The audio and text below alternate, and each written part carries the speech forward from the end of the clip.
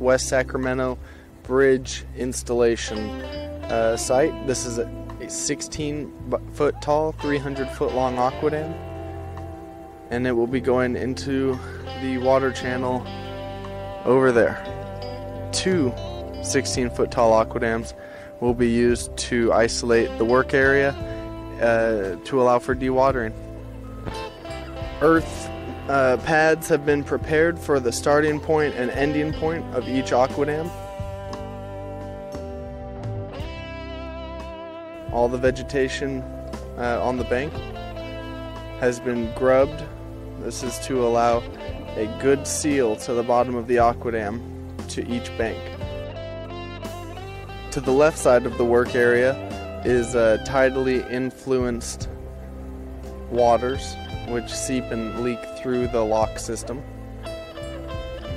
which feeds water to the right during high tide and uh, flows out to the right during high tide. So the flow's going left to right. The second 16 foot tall, 335 foot long aqua dam has arrived to the site, along with two smaller 8 foot tall aqua dams, which may be used to back up the 16 foot tall aqua dams. The contractor has set up two 6 inch uh, pumps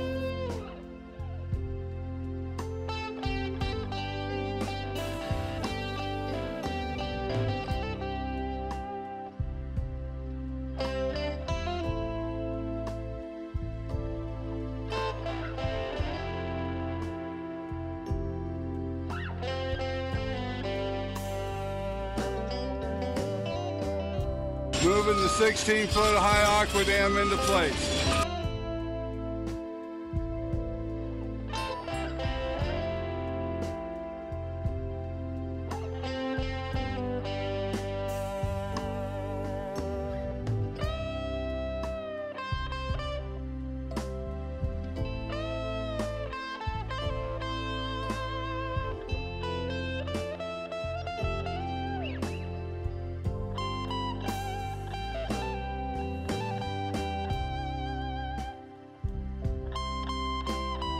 Now I think the dam is square to that bank over there, and that's what we are trying for. Okay, set it down on the ground, and we'll cut the ropes on it.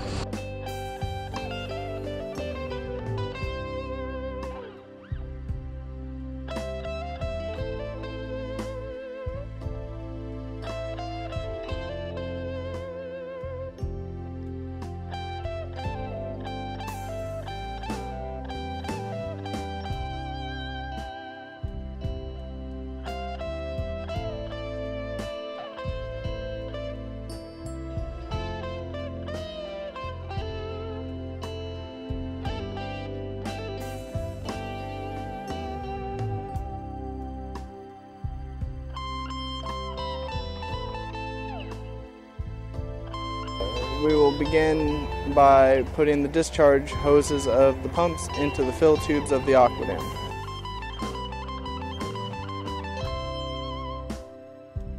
The aquadam needs to be adjusted more towards the left so that we get a better uh, ending on the other bank.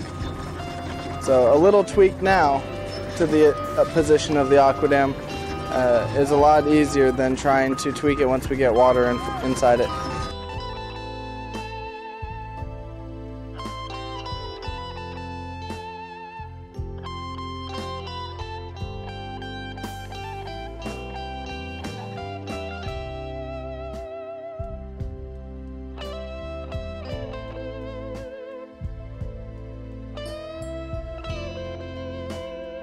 Two pumps, two discharge hoses, one in each of the two fill tubes of the aqua dam, left and right.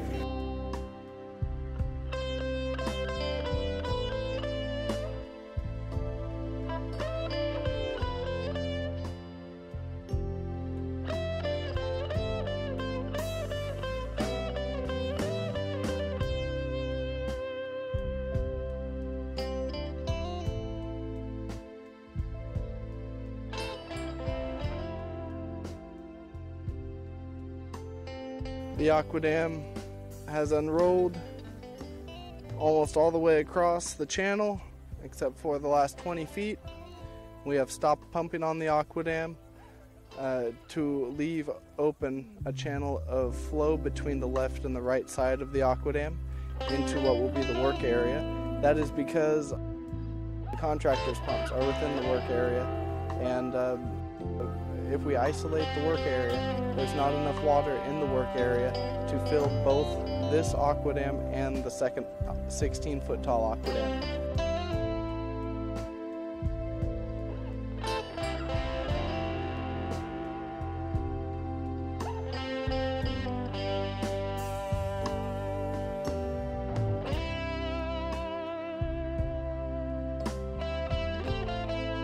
First 16 foot tall aquadam has been stopped pumping on. The closed end has been tied back with a multitude of ropes to the bottom seam and also to the log that it's rolled up on to this single half inch rope tied back to the bulldozer. Also the open end of the aquadam is tied back uh, to prevent slippage down the slope as the aquadam fits.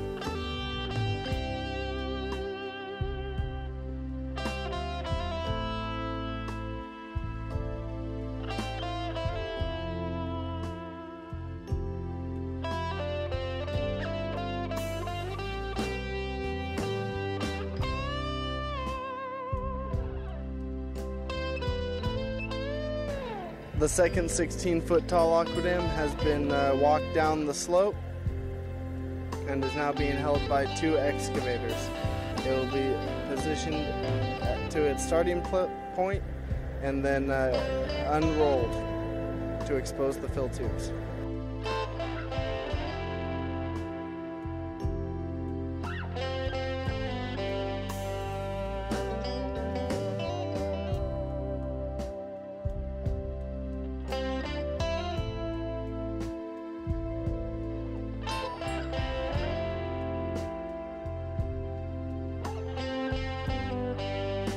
As the tide comes in, the head of aquadam inside the aquadam uh, dissipates, reduces, and in fact you can see part of the aquadam there in the deeper end in the middle has actually become flaccid uh, in the water. So time to put more water in the aquadam. All we need to do is keep it a couple of inches taller than the surrounding water and we will have achieved uh, control and independence from the surrounding water column.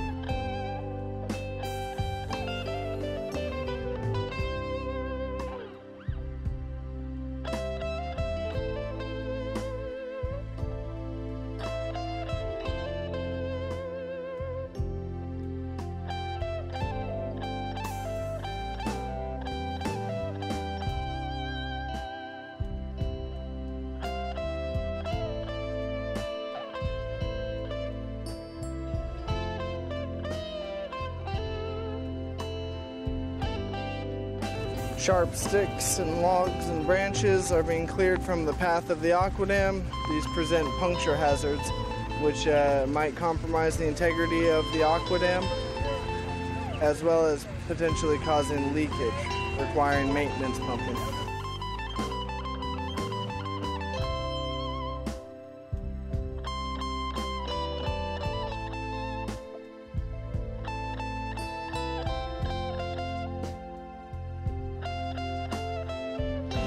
We have continued pumping water into the aquadam. The two ropes which were restraining it are now cable tight and uh, we will continue to build head in the aquadam until the ropes break, at which point the aquadam will rush forward, roll up against the bank and isolate the work area.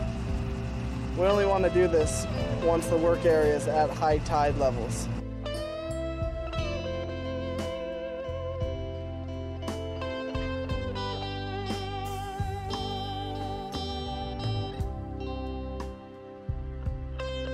Set up our gas-powered 3-inch discharge pumps.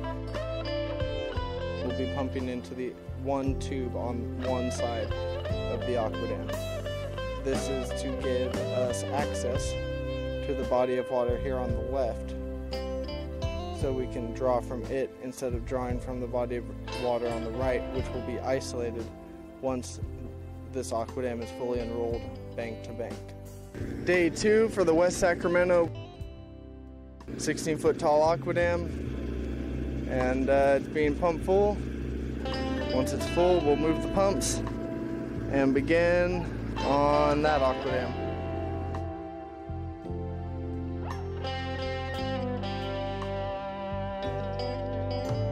The 16 foot tall aqua dam has been uh, pumped full.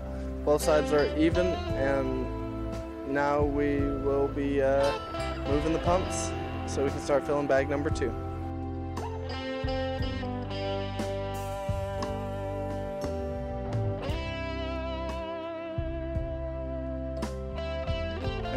Two chambers side by side, and they should both be filled equally during installation.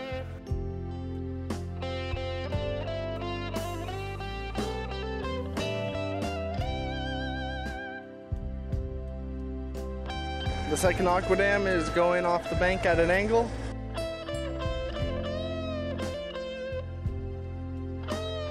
In order to correct the deviation of course of the aqua dam, uh, we're going to use the excavator and rope to pull on one end of the aqua dam.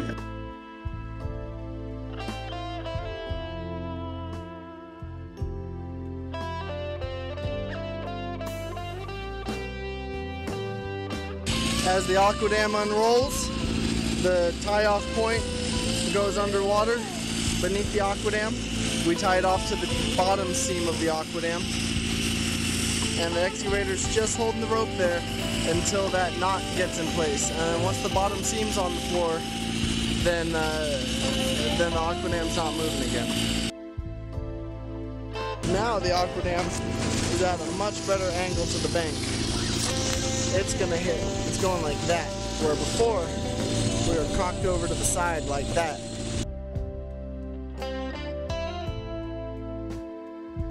The aquadam was being unequally pumped. The outer tube with the right side tube has uh, deflected the course of the aquadam because it filled up quicker, which has uh, put us cockeyed to the bank. It's important to be square with the bank because that's uh, where you get the most uh, support for the end of the aqua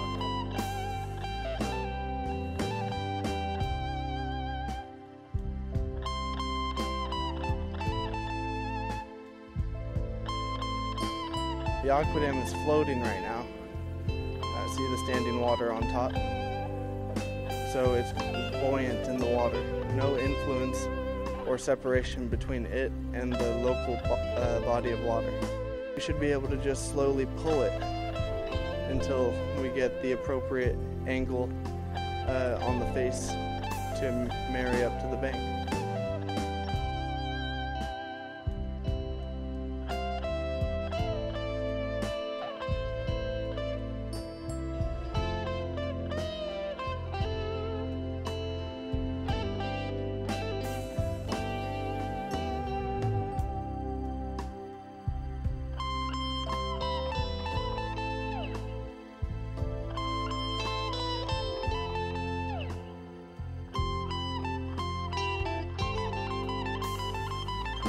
The pumps have been started.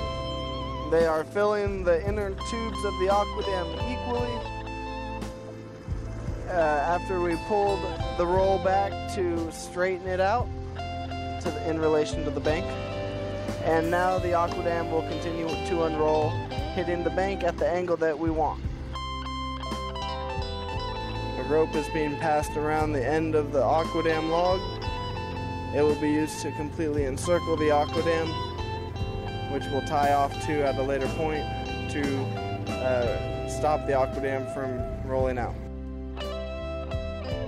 Now that the circular rope has been connected to itself, we're cutting tie-back ropes to tie the bottom seam of the aqua dam back to the uh, encircling rope on the aqua dam. At that point, we will allow this temporary holding rope to break or we'll cut it. And then the aquadam end will roll forward until uh, uh, held back again by the new set of ropes.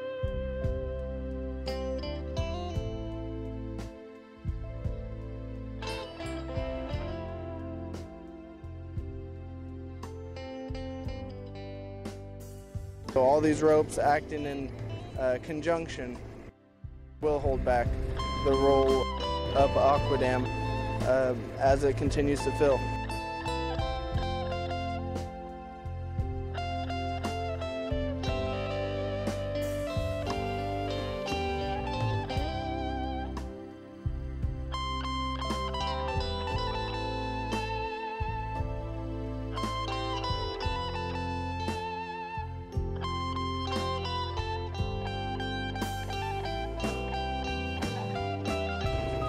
The second aqua has unrolled to the bank and is filling. There's approximately two feet of head in this aqua